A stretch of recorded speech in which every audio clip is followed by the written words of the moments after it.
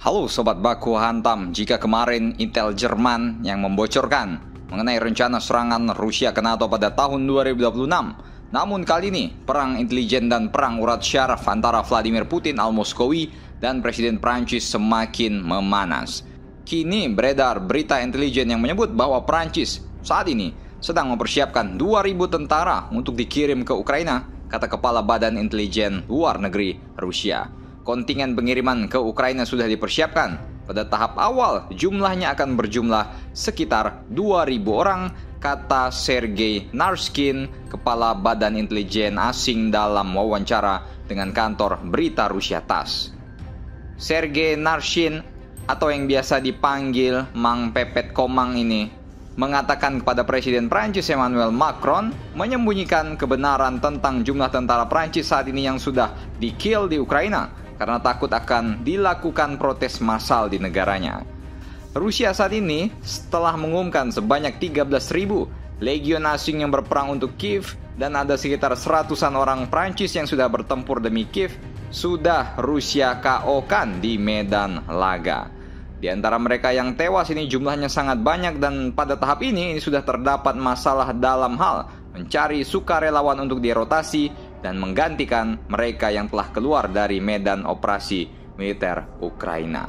Militer Prancis tampak khawatir dengan meningkatnya jumlah tentara Prancis dan mengatakan bahwa mereka juga khawatir bahwa unit sebesar itu tidak akan dapat dikirim ke Ukraina secara diam-diam lagi. Tentara Prancis pun sadar yang mereka hadapi saat ini bukanlah para petani-petani opium ataupun para nelayan-nelayan Somalia, enggak, enggak, enggak, bos. Mereka hadapi adalah para pengrajin vodka yang nenteng kornet dan drone lancet. Kalau maju tanpa superioritas udara ya kan ate ya kan langsung menghadap Bapak Napoleon yang di atas ya alam.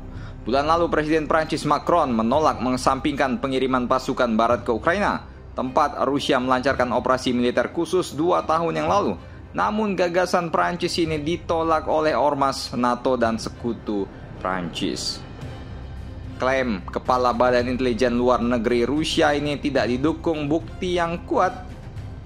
Namun Kepala Staf Angkatan Darat Prancis Jenderal Pierre Schill mengatakan bahwa tentara Prancis saat ini memang siap menghadapi pertempuran terberat. Ini tanda-tanda loh dari kasat Prancis ya kan. Apalagi pertempuran apa coba yang terberat saat ini apalagi kalau bukan pertempuran yang dihadapi oleh NATO dan sang raja terakhir, pasukan merah, pasukan banteng, the real Red Bull sejati, Bapak Vladimir Putin al-Moskowi al-Nasir al-Inter Miami.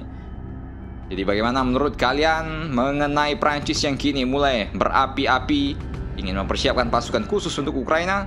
Ya kata para pansboynya Rusia mah kirim aja bos nanti di Krasnopol nangis. Kata-kata hari ini Min ya duduk membaca Injil, bergerak memburu takjil. Silakan komentar dan baku hantam kalian di bawah.